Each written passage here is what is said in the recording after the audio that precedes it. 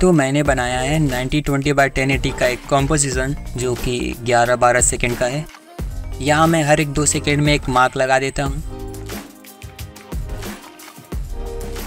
अभी न्यू पर जाएँगे एंड एक नल ऑब्जेक्ट को यहाँ पर ऐड कर देंगे। एंड बाय द वे ये बहुत इंपॉर्टेंट लेयर होने वाली है तो इसे मैं कोई और अच्छा सा रीनेम कर देता हूँ, जैसे कि एवरीथिंग एंड साथ में इसका कलर भी मैं कुछ और रखूँगा, जैसे कि ग्रीन ताकि ये अच्छे से नज़र आए। अभी इस लेयर की पोजीशन प्रॉपर्टी को ओपन करना और इसके स्टॉप वॉच पर क्लिक करके एक की फ्रेम ऐड करना। फिर हम जाएँगे सबसे लास्ट वाले मार्कर पर मतलब कि 10 सेकंड पर। फिर मैं इस 960 वाले वैल्यू को माइनस पाँच हज़ार में चेंज कर देता हूँ। अभी मेरे पास एक बैकग्राउंड है, इसे हम यहाँ पर ऐड कर देते हैं। फिर इस पेरेंट एंड लिंक वाले ऑप्शन से मैं इसे एवरीथिंग पर कनेक्ट कर देता हूँ। तो जो है टाइम पर आगे बढ़ने से देखो, ये बैकग्राउंड भी उसी के साथ मूव करेगा। इसे मूव करके मैं साइड लाता हूँ। ये पूरी तरह से कवर हो जाना चाहिए। अभी जो है ये बैकग्राउंड मुझे ठीक से दिख नहीं रहा है तो इस पर एक इफ़ेक्ट ऐड करते हैं एक्सपोजर एंड एक्सपोजर की वैल्यू को जस्ट थ्री रख देना है।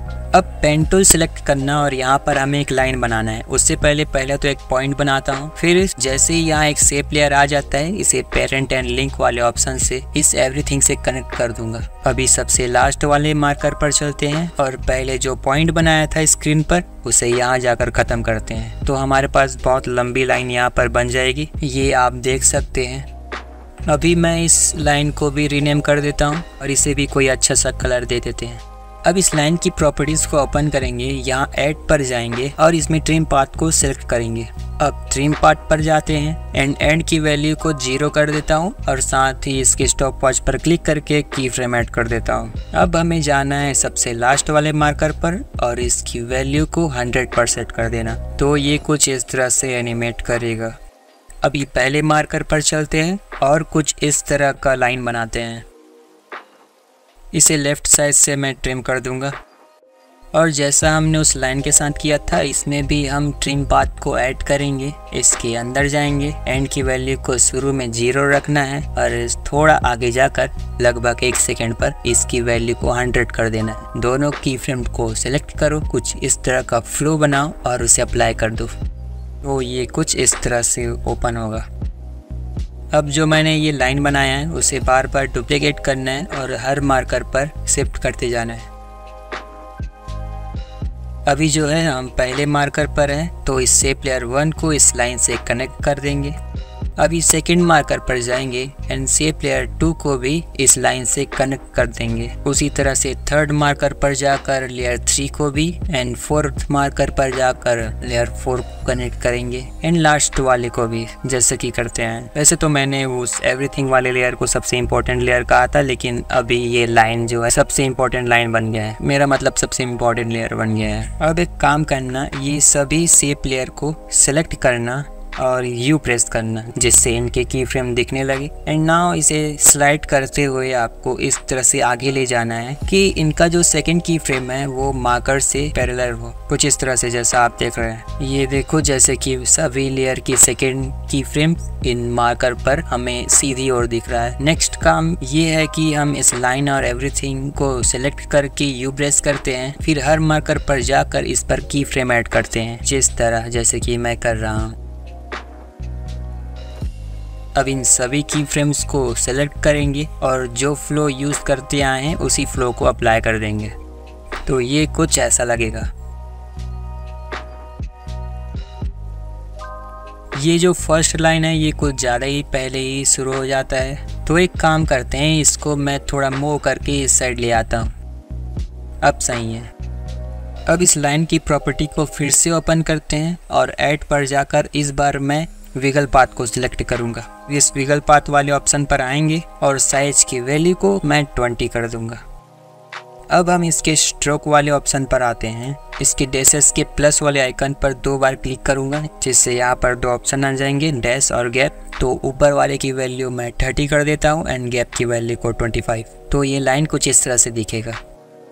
अभी मेरे पास पाँच पीएम के पी हैं। ये रहा लिस्ट मैं यहाँ से पाँच ही पीएम को ऐड करूँगा तो इसका मतलब पाँचवें नंबर पर आएगा एच डी देवा गौड़ा इससे हम ऐड करते हैं पहले मार्कर पर। सही से एडजस्ट करेंगे। एडजस्ट करते ही आपको पता है क्या करना है। इसे हमें इस लाइन से जोड़ देना है। आप सेकंड मार्कर पर जाते हैं, फिर है इंदर कुमार। इसे भी सही से एडजस्ट करेंगे और इसे उस लाइन से जोड़ देंगे। अब थर्ड मार्कर पर आते हैं। इस पर है अटल बिहारी। इसे भी यहाँ ऐड करेंगे और इस लाइन के साथ कनेक्ट कर देंगे। फिर आते हैं मनमोहन सिंह। इसे भी मैं यहाँ एडजस्ट करता हूँ एंड साथ में इसे इस लाइन के साथ जोड़ देता। And at the end Modi आते हैं। फिर इन्हें भी एडजस्ट करके कनेक्ट कर देते हैं। फिर जैसे हमने कि इन सेप को थोड़ा सा साइड किया था, उन्हीं तरह से इन पी को भी मैं साइड कर दूँगा। ये बिल्कुल ही नीचे वाले की तरह होनी चाहिए।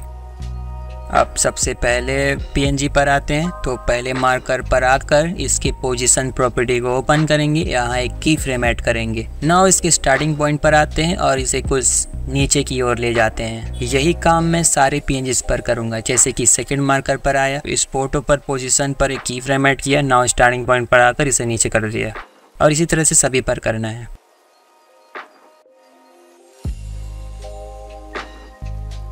अब इन सभी की फ्रेम्स को सेलेक्ट करेंगे और जो फ्लो यूज़ करते आए हैं, उसी फ्लो को अप्लाई कर देंगे। तो ये कुछ इस तरह से ऊपर आएगा। अभी मैं सेप टूल को सिलेक्ट करता हूँ और यहाँ एक इस तरह का सेप बनाता हूँ कि ये फ़ोटो पूरी तरह से कवर हो जाए। इसे डुप्लीकेट करना और सेकंड मार्कर की तरफ़ ले जाना ताकि ये सेकंड फ़ोटो को भी कवर कर दे। उसी तरह से सभी फ़ोटो के लिए करने हैं आपको।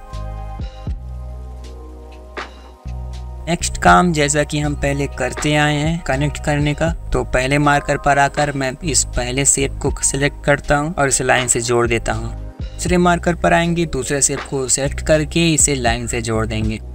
और इसी तरह से इन बाकी तीन को भी करने हैं। वो ये भी इनके साथ मूव करेगा। कि आपको अजीब लग रहा होगा कि ये हमने क्या किया तो आगे देखते रहिए, आप समझ जाएँगे।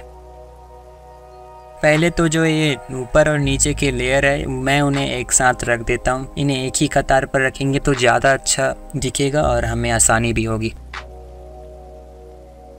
अभी इस फ़ोटो को सिलेक्ट करता हूँ और इस ऑप्शन को ऑन कर देता हूँ, जिससे मेरे पास इधर और भी ऑप्शंस आ जाते हैं। नाउ यहाँ दो टाइप के थ्रेड है, जो ये राइट पर है, वो पेरेंट एंड लिंक वाले हैं, और जो लेफ़्ट वाला थ्रेड है, ये ट्रैकमेट वाला है। तो हमें अभी ट्रैकमेट वाले से काम है। मैं इस फ़र्स्ट मार्कर पर आ जाता हूँ और इस फ़ोटो को सिलेक्ट करके उसके ऊपर वाले सेप के साथ ट्रैकमेट कर देता हूँ। मतलब कनेक्ट कर देना है ट्रैकमेट के यूज़ से। फिर सेकंड मार्कर पर जाके उस वाले फ़ोटो को उसके ऊपर वाले सेप के साथ कनेक्ट कर देना है और ये चीज़ सभी में करना है। तो ये कुछ इस तरह से दिखेगा। अब हम अपना मेन काम करते हैं, इनकी डेट लिखना। जब ये पीएम बने थे, पहले तो मैं इनका लिंक देता हूँ और इसे सही से एडजस्ट कर देता हूँ। और साथ में जो ये दो लेयर थे, उनके साथ मैं इसे इस कतार पर रख देता हूँ तो ये अच्छा लगेगा। और जैसे कि हमने हर लेयर के साथ किया था, इन्हें भी इनके साथ जमा जमा कर डुप्लीकेट कर कर कर रख देंगे।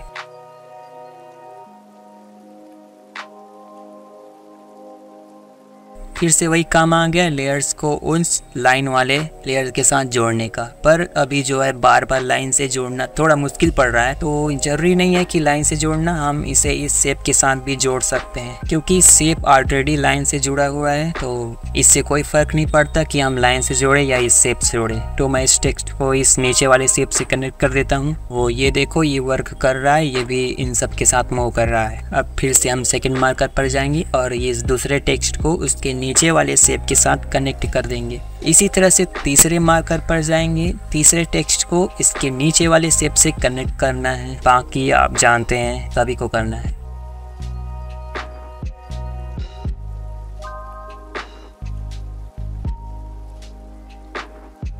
मैंने यहाँ एक चीज़ जो है मिस्टेक किया कि मैंने इन टेक्स्ट को भी ट्रिम कर दिया, जो कि नहीं करना है, इन्हें एवरी टाइम दिखना चाहिए स्क्रीन पर तो इन्हें वापस से हम इधर ला देते हैं। तभी ये अच्छा लगेगा। अभी ये सभी चीज़ थोड़े से खाली खाली से लग रहे हैं। मैं पहले तो इन टेक्स्ट पर एक ग्लो इफ़ेक्ट ऐड करता हूँ। मैं इस ग्लो की सेटिंग्स पर जाकर इसका रेडियस को 100 कर देता हूँ और साथ में इसकी इंटेंसिटी को 0.7 रखते हैं। अब इस ग्लो को कॉपी करना एंड बाकी सारे टेक्स्ट पर अप्लाई कर देना। साथ ही जितने लाइन बनाए हैं, उन पर भी ये इफ़ेक्ट पेस्ट कर देना। और ये जितने भी पीएम के पीएनजीस हैं, इन पर भी हम इस ग्लो इफ़ेक्ट को पेस्ट कर देंगे। बाकी किसी किसी पीएनजी पर इसका असर कुछ ज़्यादा ही हो गया तो आप उसे एडजस्ट कर लेना। जैसे कि यहाँ पर ये कुछ ज़्यादा ही वाइट हो गए तो इसे हम कम कर देते हैं। एंड बाकी सभी पर भी आप सही कर लीजिए। अब सभी लेयर को सेलेक्ट करो और इस ऑप्शन को ऑन कर दो। अभी ये जो ऊपर की जगह है, ये थोड़ा खाली खाली सा लग रहा है। तो एक काम करते हैं, यहाँ कुछ हेडलाइन सा लिख लेते हैं। जैसे कि प्राइम मिनिस्टर्स ऑफ़ इंडिया यहाँ से यहाँ तक के, इन पर भी ग्लो इफ़ेक्ट ऐड कर देंगे। और फिर इतना सब होने के बाद इन सबको सिलेक्ट करना है और प्री कंपोज कर देना है। प्री कंपोज होते ही आपको पता है क्या करना होता है। आपको एनिमेशन कंपोज़र पर जाना होता है। उस इफ़ेक्ट को खोजना होता है जो स्क्रीन को थोड़ी सी विगल करे। और ये वो इफ़ेक्ट है जिसकी हम बात करते तो इसे सेलेक्ट करना और ऐड कर देना। और इंटेंसिटी अगर आप मेरा पुराने वीडियोस देखते हो तो आपको पता ही होगा हम हमेशा से 10 या 15 रखते आए तो मैं इसे 10 कर देता हूँ। अब जो है साइड साइड पर जो है ब्लैक ब्लैक सा नज़र आ रहा है। इसे भी आप जानते हैं कैसे मिटाना है। इफ़ेक्ट पैनल पर जाओ सीसी रेप्टाइल वाले इफ़ेक्ट को सर्च करो। जब ये मिल जाए तो इसे आप इस प्री कम्पोज पर ऐड कर देना। अब यहाँ चार वैल्यूज़ है, सभी को हम हंड्रेड से चेंज कर देते हैं। एंड इसके टीलिंग वाले ऑप्शन पर आकर इसे अनफोल्ड पर सेट कर देंगे। और ये तभी वर्क करेगा जब ये टॉप पर रहेगा। तो इसे मूव करके ऊपर ले जाना। एंड देखा जाए तो ये हेडलाइन कुछ ज़्यादा ही बड़े हैं। इन्हें मैं छोटा कर देता हूँ। तो एट दी एंड ये कुछ ऐसा लगेगा।